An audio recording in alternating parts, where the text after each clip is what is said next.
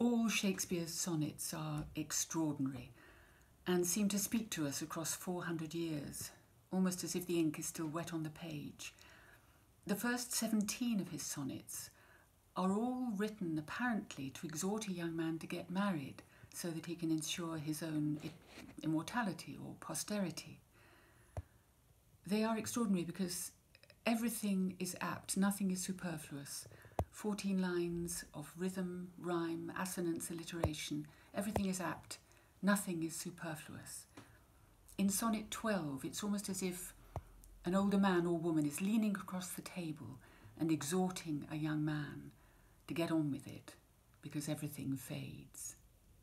You can almost hear the clock ticking from the very first line.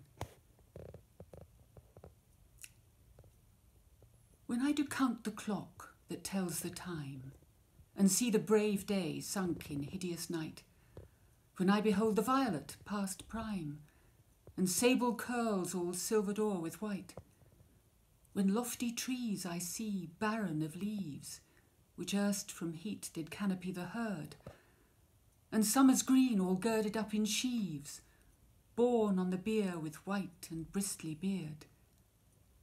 Then of thy beauty do I question make, that thou among the wastes of time must go, since sweets and beauties do themselves forsake, and die as fast as they see others grow, and nothing gainst time's scythe can make defence, save breed to brave him when he takes thee hence.